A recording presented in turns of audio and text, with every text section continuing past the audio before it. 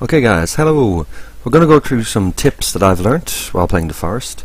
Hopefully these will be a little bit helpful for you, uh, just to really survive a lot longer. So, we'll start off. When you first get off the plane, you'll find suitcases like this. They are locked. You will need to crack them open. You can do so with an axe. They'll open nice and easy. You'll find circuit boards on the side of the plane. Make sure to pick these up. I'll show you how to use these in a little bit. Um, just really go around the crash site, get as much, uh, get as many of the suitcases as you can find. They are scattered along the beaches, but in this video I won't be going to the beach. But definitely do. It's well worth it. Set up shop on the beach if you can. Safest place at the moment, starting off. Just round up anything you can. When you come to little huts like these, these are inland. These belong to these cannibal dudes. Um, you can stay there a little while, but I wouldn't recommend it. If you hover around too long, the enemy will come back and you will be swarmed. You'll find yourself just running away.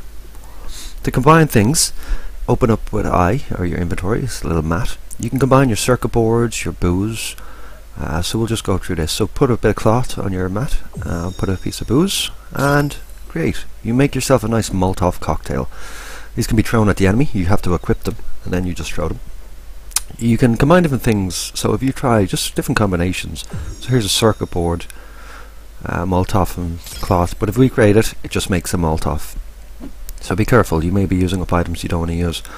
If you do things like uh, circuit board, coins, and booze, you can find yourself a nice little explosive. These are very handy.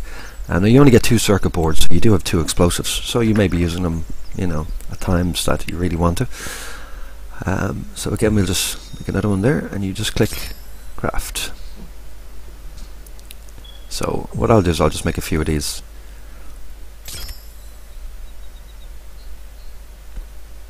Um, if you do find different combinations, uh, put it down in the comments below. i actually, I actually don't know any more, so I'd be interested to find out some different combinations of items. Um, I have found a lot of different items from suitcases, so it would be very interesting. Stuff like sticks and booze and cloth, but it doesn't make anything except a Molotov. I thought it might make some sort of a fire stick or something, you know but it doesn't. Again, you've got different items like legs and arms and heads. So it seems like you can craft a lot in this to help you survive. So just moving on then. Um, when you're strolling around the place, you'll find yourself a nice area to set up shop. So you're going to create your houses and everything. I'm going to set it up here. I'll have the water on my back, a mountain to my side, and I got the forest close by to be able to chop trees down and craft. Do scout out your area before you set up shop. Again, I recommend at the very start set up on a beach. You'll find lots of items, trees close by, and it's very pretty down there. So when you're crafting, open up your book. You know, go by the beginner's guide, definitely. Make sure you put one of these houses. Save it works now at the moment. And place down your hut. And when you build it fully, I recommend building it as soon as possible. Um, you're able to press Z when you go close to it, and that'll save your game for you. These long pole fires are the best thing to place, definitely. You need to, well, I recommend you place a perimeter around your area. Don't put it too close to your hut. People, the, the cannibals will stay on the outside of it. Um, so do place them around. The more of a gap, the more they'll come through. But you know, it's up to yourself what you want to do.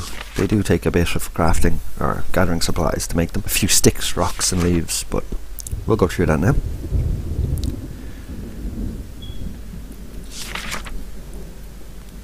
So when you start building, light it straight away because eventually night will come.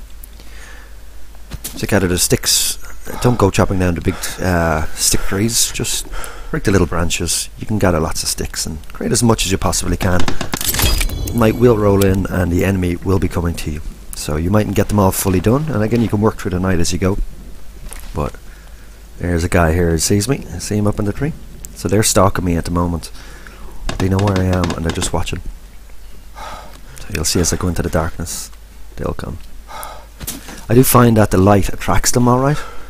Uh, attracts them more so. I've found that I'm in the darkness and they're standing by my camp with the brightness.